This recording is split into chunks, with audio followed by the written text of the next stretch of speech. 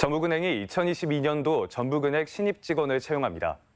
채용 분야는 금융 일반 및 통계, IT, 디지털 세 개 분야로 지역 인재, 일반 인재로 구분하며 특히 전라북도 지역 인재를 80% 이상 채용할 예정입니다.